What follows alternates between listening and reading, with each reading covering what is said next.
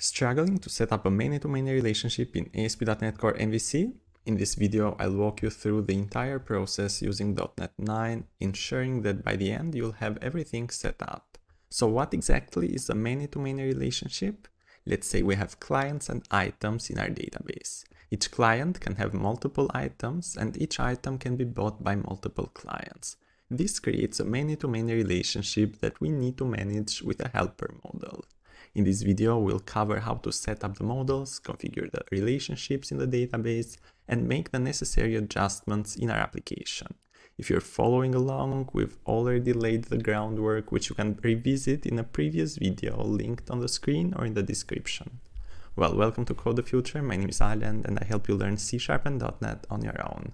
Now let's get into it. So let's just go back to our project, and our main model was the item model. Now, if we connect the item with a client model, let's say one item can be purchased by multiple clients and one client may purchase multiple items as well. So this is a many-to-many -many relationship between the item and the client. Unlike the other relationships we've seen before, this type of relationship requires an additional helper model to connect these two models with one another, which we'll see in a bit. But firstly, let's just create a client model by just going to the models folder and adding a class for the client.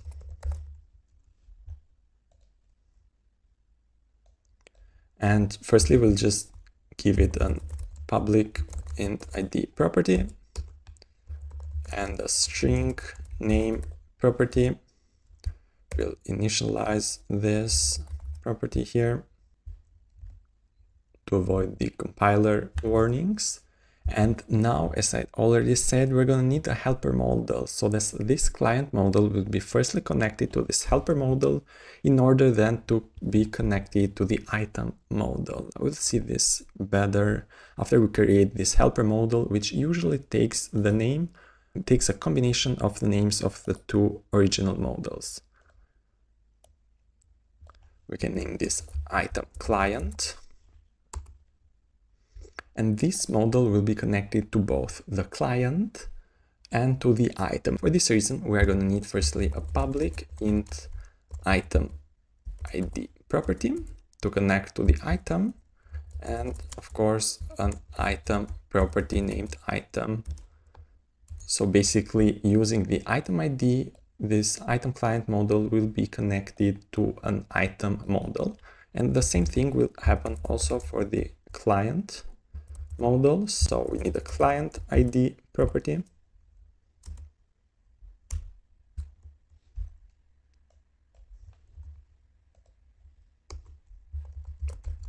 And a client property named client.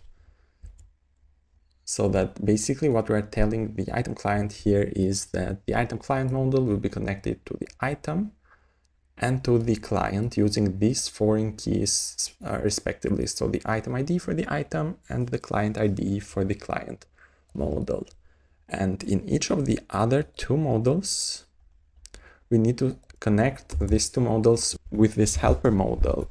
And basically we need to have here a list property,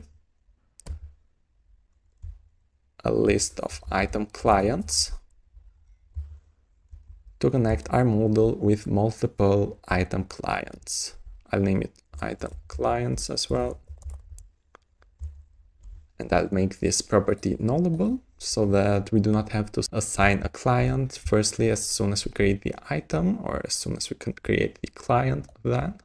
And I'm going to copy this property and paste it in our client model as well. So basically the client here and the item as well are firstly connected with the item client, which then connects them to the specific item in the case, in this case, for example, in the case of the client. And now what we need to do is go to our context class and actually add these dbset instances of the two new models we created so that they will be stored as tables in our database. So public dbset client, I'll name it clients, and also a dbset instance for our helper model.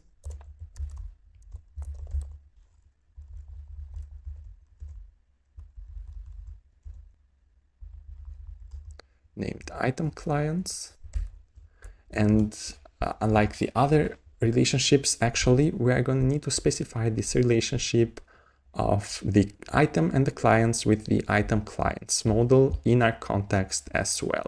So just somewhere inside this on model creating method, we'll basically firstly use the model builder class to specify the relationship of the item client model or entity with the item and the client. Basically here we'll firstly specify the foreign keys that are in this in this model. So item client we need to write here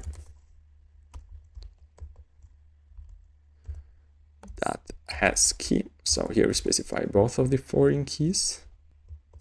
Let's take a variable here item client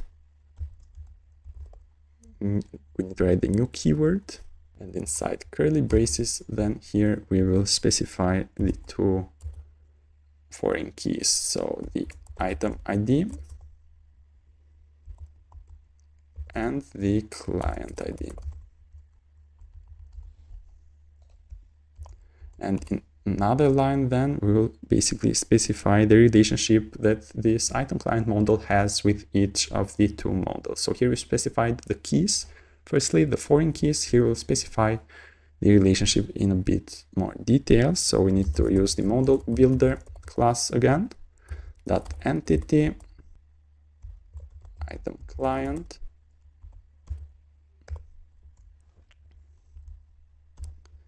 So we basically say here that the item client entity is connected to the item model first. Item model. And we write the with many method that specifies that an item can be connected to multiple item clients model.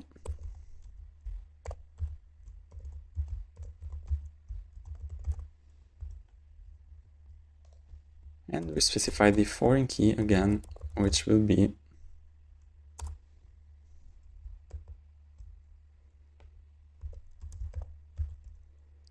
the item ID.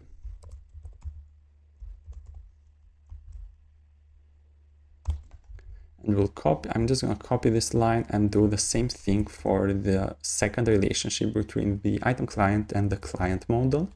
So we just need to change here the relationship so it's connected to a client model with multiple which is connected with multiple item clients and the foreign key here will be the client ID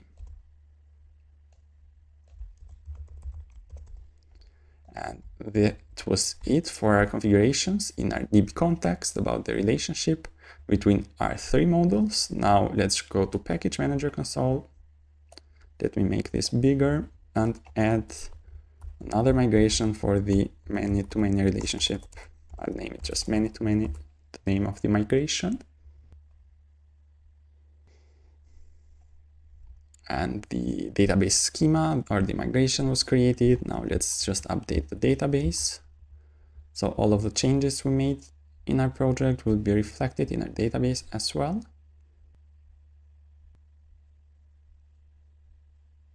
everything was built successfully. So now for this video, I'm gonna go and see the database and we're gonna populate the data in the database. Just as a reminder, if you want to get the fundamentals right in C Sharp or improve whatever you're building in .NET, check out my ebook which is on sale now. It will save you hours of research by providing all the C Sharp insights you need in one place. You can find the link in the description if you'd like to check it out. And now back to the video.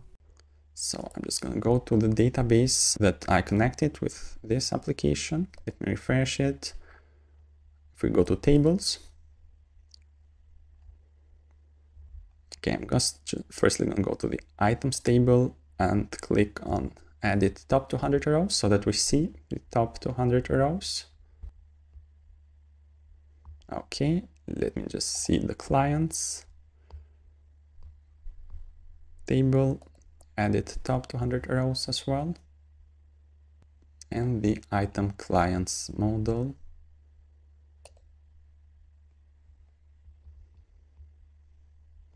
Okay, so what I'm gonna do here, let me just firstly create two clients, one with a name, let's say Zach,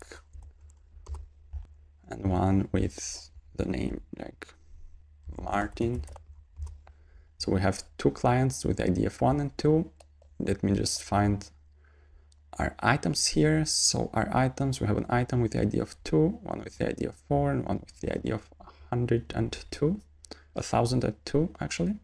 So I'm gonna connect in the items item clients table here. I'm gonna connect the item with the ID of, I think, two with Zach here, which was a client with ID of one, and the item with ID of four with Martin, and the other item was had the ID of 1002, and I'll connect it with Zach as well. So Zach here has purchased two items, so to say.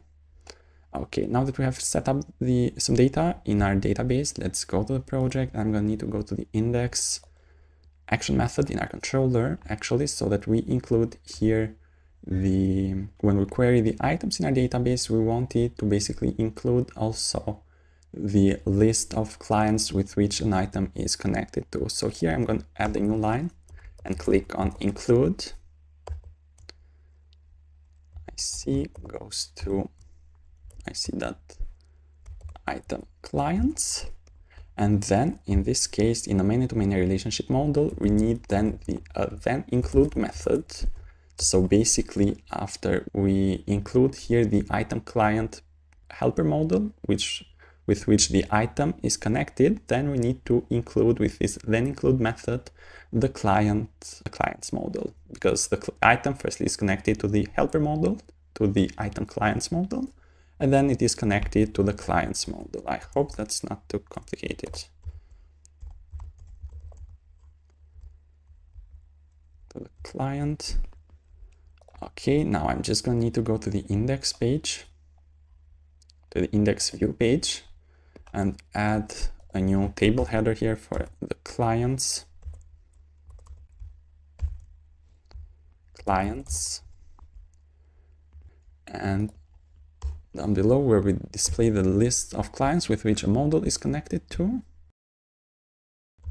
I'm just going to use this table data tag here and I'm actually going to use a for each loop because one item may have multiple multiple clients. Here we'll loop through a variable, I'll name it client in item dot item clients with which is here this was the temporary variable we created and we'll loop through each item's item clients.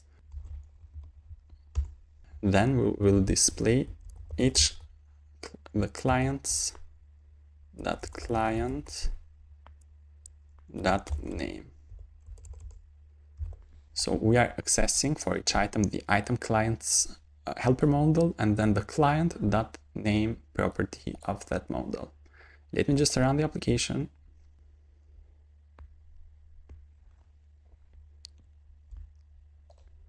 let's refresh the items route we should see another column in our table and we see for each item we see the client. So for the keyboard we see that the client is Zach for the microphone is Martin and for the book is Zach again. So basically in this case each item has only one client but the client has two items. And this is basically how the many-to-many relationship works in ASP.NET Core MVC. If this video was helpful, YouTube thinks you should watch the video that's now appearing on the screen, so I'll see you there. Don't forget to hit the like and subscribe buttons for more content like this, and I'll see you soon.